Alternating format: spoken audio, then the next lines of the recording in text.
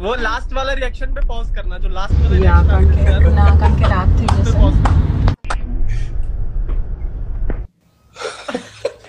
Australia के खिलाफ final में हार के बाद सुमन गिल से की सारत तेंदुलकर ने वीडियो कॉल दरअसल इंडिया और ऑस्ट्रेलिया का फाइनल मुकाबला इंडिया टीम हार चुकी थी। जहाँ पर सुमन गिल और साथ ही सारे प्लेयर इंडिया टीम के काफ़ी ज़्यादा अपसेट थे। वहीं पर सारत तेंदुलकर भी मुकाबला देखने आई थी उन्होंने यहाँ पर स्टोरीज भी डाली है, जिसमें वीडियोज़ भी शेयर की हैं और साथ ही इंडिया इज़ द बेस्ट बोला है। वहीं पर नाइट में यहाँ पर वीडियो कॉल की सुमन गिल से वो क्योंकि काफ़ी ज़्यादा इमोशनल थे। वीडियो को लाइक चैनल को सब्सक्राइब